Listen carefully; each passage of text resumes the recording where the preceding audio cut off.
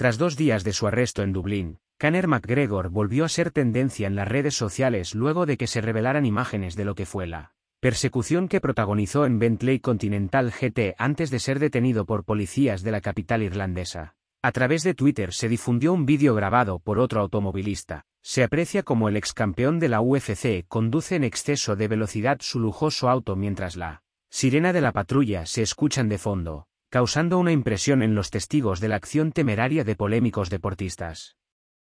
El pasado martes, elementos de la Garda Siochana, institución de Policía Nacional de Irlanda, arrestaron al peleador de artes marciales mixtas y lo trasladaron a las instalaciones de la justicia, interrumpiendo así su camino rumbo al gimnasio para entrenar.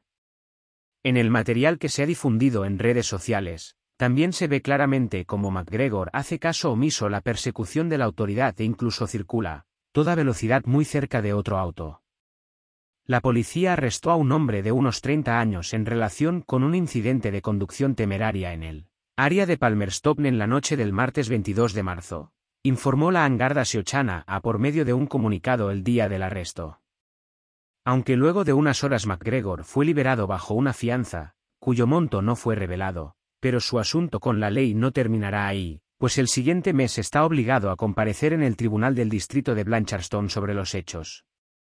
El irlandés ya estuvo en dicha instancia de la justicia de su país en 2017 por un caso similar, cuando fue multado con por 400 euros. Además de la fianza y su próxima cita ante las autoridades, el lujoso Bentley de Canner fue incautado.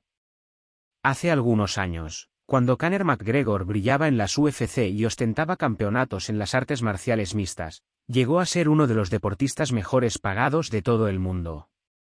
En un listado que la revista Forbes hizo hace un año, el irlandés fue el deportista mejor pagado de dicho año con ingresos de 180 millones de dólares, guanacias que le permiten darse ciertos lujos, como su Bentley Continental GT, el cual fue incautado al ser arrestados este fin de semana.